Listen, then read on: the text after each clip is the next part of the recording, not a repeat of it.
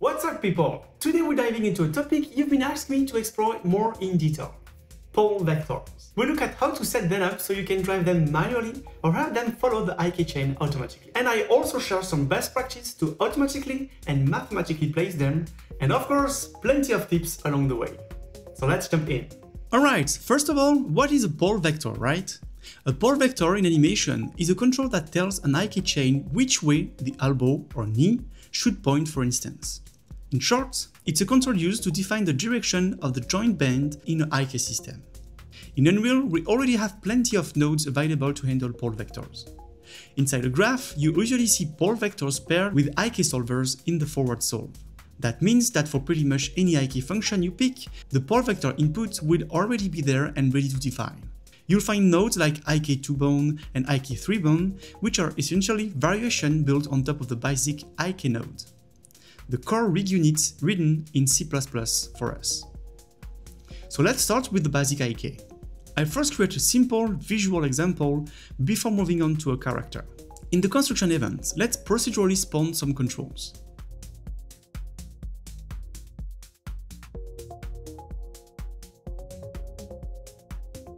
Then, inside the forward solve, I'll bring in the basic IK node and plug in the controls, just like we would with bones in a chain.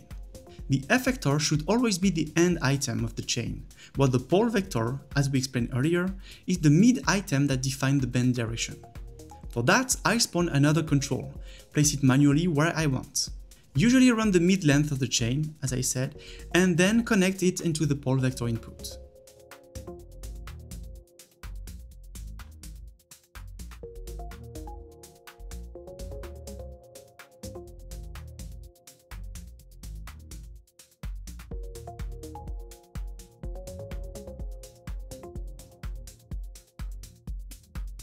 To make it more visual, you can add some debug nodes. For example, use drawline strip to display the triangle shape of the IK chain and a simple drawline to connect the mid joint to the pole vector, just like we're used to seeing in other DCCs.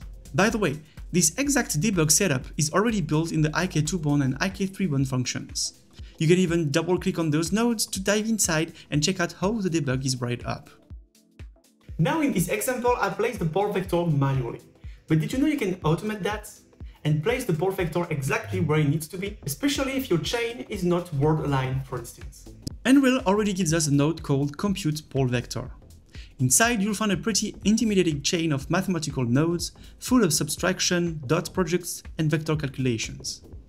The goal here is to figure out the pole vector position automatically based on the chain's direction and angles. It might look scary at first, but here's the good news. You don't have to redo the math yourself it's all done for you. So no need to dig back into your old algebra lessons, everything's already set up for us. Here's a quick setup you can try. Drop a compute pole vector node into the construction events and specify the three items of the chain. Usually bones, but for the simple example I just use controls. From the transform output, create a spawn control node. That control will be our pole vector. As you can see, it's placed perfectly at the midpoint of the chain.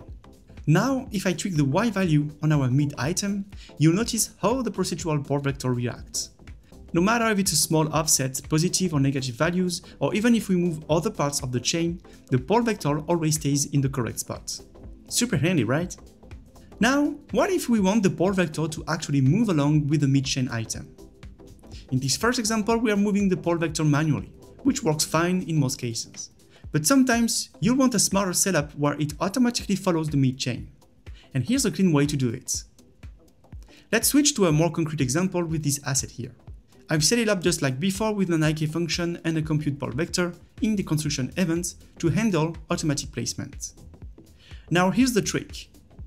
Create a node or spawn one dynamically in the construction event. I'm doing it here just like with our previous control. Then map the item output to the spawn control parent input to place the pole vector inside the null.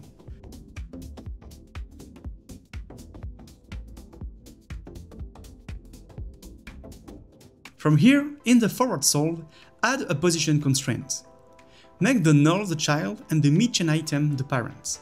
As you can see, the pole vector now follows the chain automatically, while still keeping its independent functionality. Using a null is really important here. If you constrain the pole vector directly, you lose the ability to move it manually. With this setup, you get the best of both worlds. It follows the chain smoothly, but you can still adjust it individually whenever you want. Finally, you can keep things really simple by using the space switching feature in animation mode. Just specify the new space for your pole vector, like the end chain you want it to follow, and then select it whenever needed. This can also be animated directly in Sequencer, giving you a lot of flexibility. I've even made a full video on space switching with our buddy Buzz, so make sure to check that out. To recap, Unreal gives you several nodes to set up your pole vector exactly how you want.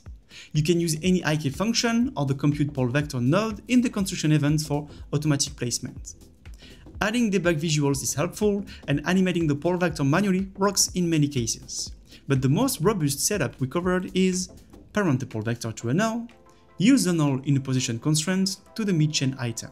This way, your pole vector will automatically follow the mid-joints while still allowing manual adjustments when needed. And that's a wrap, now you know all the secrets about pole vector in Control Rig. Thanks for watching, don't hesitate to leave a like and subscribe as always, and see you next week for a new one. Ciao!